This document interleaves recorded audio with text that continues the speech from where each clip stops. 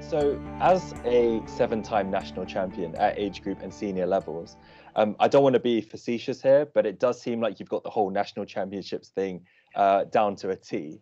Um, you've been to four major championships now, I think. Hopefully, it's going to be five by the end of this season.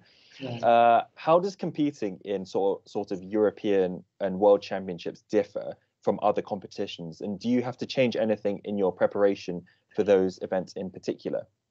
Yeah, for sure. I think with British competitions, um, I'm at the moment I'm like maybe ahead by the second best in Britain by maybe close to a meter. So when I go to these competitions, I have a little bit more confidence and less nerves because I think, okay, well the chances are that I'll probably win. So it's it's it's easier in a way, but it's also mentally hard because I might not jump as far as I'm capable of.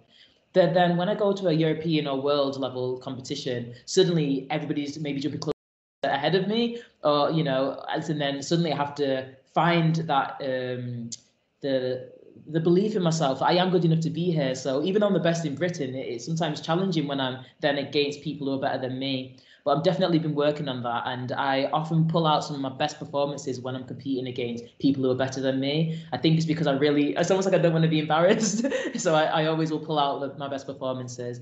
In terms of preparation, I think the main difference would be traveling. Um, often competitions here, I'll just kind of drive down, stay overnight, and compete. Um, if the competitions are abroad, sometimes we'll have training camps, two weeks, three weeks long, um, trying to get used to the time zones and the climate and everything. Um, so it can be quite hard being away from family for, for that long, but it's just part of it and it's a sacrifice. And um, yeah, that's probably the, the thing that differs.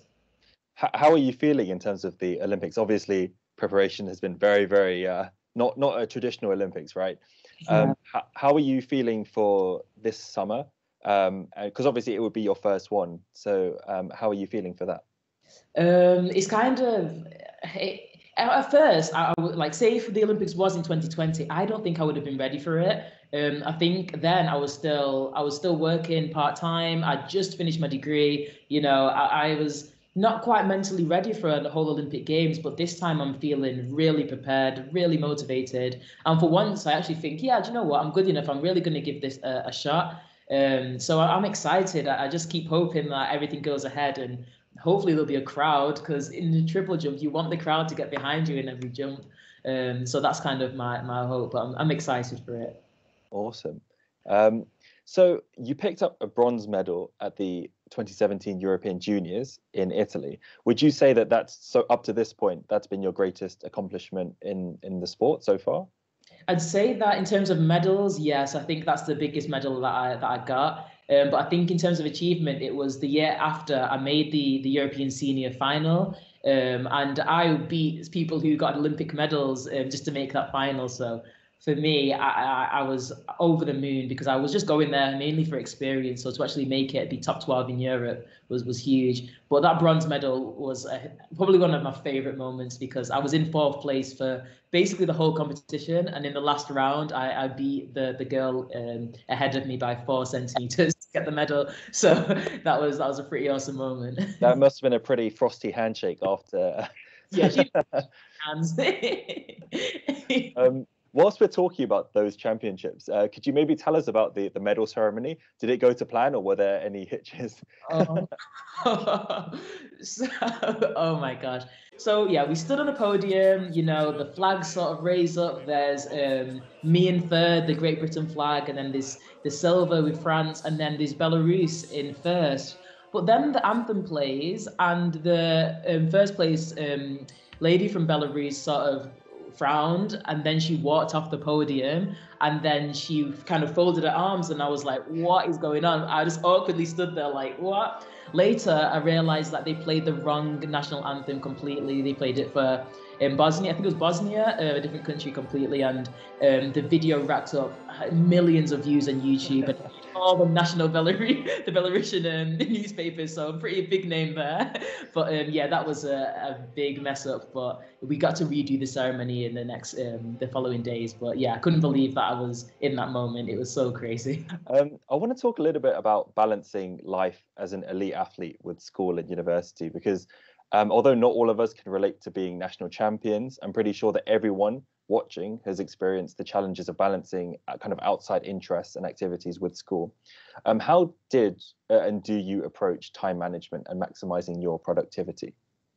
Um, I think for me, it was, it was really important to sort of write down everything that I've kind of got going on. Because sometimes you can think you can store information in your head, but sometimes just writing it down, having it out, a calendar, um, or, or just a to-do list just makes it a little bit more clear and a little bit less anxiety inducing when you think you've got so much going on. And sometimes it's not as much as you think i think another thing that really helped me was keeping my tutors and my teachers informed of everything that was going on outside of um, school and even if it's not sports i think sometimes you know with, with mental health and all sorts of things i think it's good to keep your teachers informed um, of what's going on because you, you don't know the sort of provisions that are in place that can help you so that's definitely what what I did. And I think having support from my parents and a bit of a nudge here and there where maybe I was watching Netflix or not really doing any work, my dad would be like, you know, you do realize that I'm sure you have an assignment, you know, due. And I think having somebody to hold you to account um, when you maybe are slacking a little bit does help. So I did let my parents know when I had so certain assignments, like big ones, um, just in case I uh, was slacking. Um, but a lot of my work I had to do on coaches and uh, on the on a high jump mat, sitting there, you know, at a competition trying to get it done. But I think it, it definitely is possible to balance things alongside studies, and I think it is beneficial as well. Did you find that you had to make a lot of sacrifices in terms of university and school? Because obviously there's a lot of um, pressure in terms of, especially when you go to university, I think, to like uh, socialize and to do lots of the things that everyone else is doing. Um, did you find that you had to make a lot of compromises in that regard? Yeah, I definitely did. I, I, did choose to live at home because, and I even even the choice of going to University of Manchester. The main one of the main reasons was just so that I can continue training with my coach, who's obviously based in Manchester. So I think that within itself of not moving away, not kind of getting to experience that whole student sort of life and just staying at home was was a bit of a sacrifice. And then obviously when it came to like parties and socials, I couldn't um, go to a party and then train the next morning because I, I just it just wouldn't work. So it was missing a lot of friends' birthdays and stuff. But in the times where you know it was off season and didn't have anything, then that was great. I got to finally have like a little few weeks where I could do everything. But other than that, it was yeah a lot of heads down or working out. I think it's something that you touched on just now, and it's sort of the topic which I think is really important of kind of the relationship between sports and mental health uh, even from my limited experiences in sport, uh, the link between the two is huge. So when you're playing or competing well, it can have such a positive impact on your mental health, um, but it can also work the other way around. So when you're mentally healthy, um, it allows you to both perform better and also handle poor performances better. Um, how important is mental health to you, and how do you go about managing it? Um, so yeah, I'd say um, being just being aware of how I'm feeling something that's very important to me. And I, I'm always trying to speak to people, even though sometimes I feel like I'm bugging people. I think that it's it's always good to speak and it can be difficult, but just having conversations and talking about how you're feeling definitely helps. Um, with triple jump, it's it's slightly different to grades. I used to find university sometimes a lot more um, difficult mentally than than triple jump. When I do a jump, I get my result straight away and I know that I've jumped, and then I get another five goes to to try and improve it. With it with my grades, you know, I'd submit an assignment and then you're waiting for maybe a week, two weeks to get that result back, and then with that delayed sort of you know getting the result and maybe not being happy with it, it could allow make me beat myself up. But I think what I've learned from triple jump is that you always have another chance. Like even though you might have done bad in one assignment, but that's not your whole degree, and that's the the beauty of the the way degrees are set out with all the modules and all the different percentages. So I think sometimes instead of dwelling on what you've done wrong, okay, let's focus and move on to what can I have done better, and how can I kind of use that in the next thing. Um, and and that's definitely what's helped me out. Um, so I think in a way having that what I've learned from academics has helped me triple jump and vice versa. Awesome. I think that moves us on quite nicely to the um, next question I wanted to ask you, which was about uh, your platform that you've created, so Three Point Start, um, because it certainly seems like a really interesting um, and perfect platform for athletes to share their stories uh, and for um, those who are maybe reading the articles uh, and blogs and stuff to kind of understand a little bit more about what goes on in the minds of athletes. So could you maybe talk a little bit about the platform itself uh, and what it does and where you want to take it in the future? Yeah, so I created um, Three Point Start during the first lockdown. Um, I did a lot of reading. I sort of learned how to make a website and used lots of YouTube to learn graphics and things. And I just really wanted to push myself and kind of everything that I love in media and sport, put it all together. And one of my main things was to get um, and use content creators and writers of people who are up and coming. Maybe they've just graduated from uni, maybe they want experience, and then teaming them up with up and coming athletes or maybe Paralympians or athletes who people maybe not so aware of. Um, so that's kind of what's motivated me, and I wanted it to be a really youthful, sort of energetic and positive um, outlet for sports media. So yeah, that, that's kind of what I created. So that's in threepointstart.com if you want to check that out. we spoke about 2017, but in 2019, you actually were on the other side of um, coming third, stroke fourth, um, and you just missed out on a medal at European Under 23s by not too much. I think it says 15 centimeters here, which is not not loads. Um, but most notably, you qualified first to get into the final. Yeah. Um, so how did you go about kind of dealing with that? Was it much of a disappointment to you, and uh, how was that for you? Yeah, so it was a it was a very a strange one for me because I that was my big goal of the season was to win under 23s. The year prior, I was the number one 23 under 23 in the world. So I thought, well, at European level, you know, it should be it should be fine. And I was going in there, um, especially to the final, ranked number one. But by my first jump, I, I, I think that was the I don't even know what happened. I think I just just couldn't quite put it together, and I feel I, I felt a lot of that pressure for for the first time. Um, but then I, I, kept going over to my parents, and it, it, was yeah, I kept going over to my parents and just thinking I don't know if I can do it. And then my dad was like, "No, keep going." And this was mid competition, so as you can see, mentally I was really really struggling. Um, and then in that last round, I actually produced my best jump, got into third place. But then the lady from Turkey, she just overtook me the same way I did last year. But at that point, I, I, I um.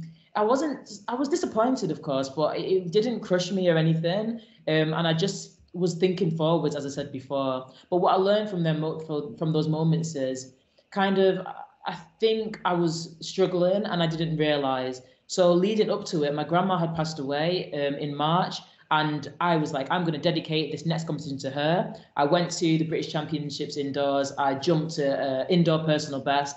And then from there, it just started going sort of down because I hadn't really dealt with the fact I'd lost my grandma. I hadn't spoken to my coach about it. I hadn't spoken to anyone. Um, so I was I was actually struggling more than I knew. So when I went to this competition, perhaps in my head these things were going around and I didn't know. So that's why I think it's super important to even if you think that you're over something, just to keep talking about it and try and just identify, you know, is could there anything, you know, could there be anything wrong? And then not being too hard on yourself if things go wrong because life isn't perfect and there's always other opportunities to show um, what you can do. So yeah, hopefully um, with the Olympics and things, I can sort of redeem myself there and, and show what I can do. But I've not really dwelled um, back onto that competition to be honest. But you know, fourth in Europe, it's not it's not bad. It's not bad. you can't complain too much about that. Things could be a lot worse. Um, and the last one is I just wanted to get you to talk a little bit about your experiences working with the BBC. So you uh, helped out a little bit for their coverage of the World Champs in Doha. Um, like you mentioned before, presenting was something that's always been on your radar. Um, how much did you enjoy it, and how did you find out that you were going to do it in the first place? Yeah, so as I said, I've always loved presenting, and I sort of um, started off doing like little vlogs. And somebody from BBC actually saw my vlog on Instagram, and they, they weren't getting loads of views. Like sometimes I'd be discouraged because they'd maybe only get like a, a couple of views. Um, but yeah, somebody from BBC saw. So when I didn't qualify for the championships, um, to compete, I got a phone call and it was like a random number, and I was like, "What?" And he was like, "Hi, I'm called whatever so and so, and I'm the head of sports production over at BBC, and we'd um, love for you to come over to Doha. Yeah, you're gonna, you know, we'll fly you over. Um, 12 days. You can present with Radzi. You'll sit, you'll sit with Gabby Logan, and and I was like, "Is, is this a prank? Like this must be."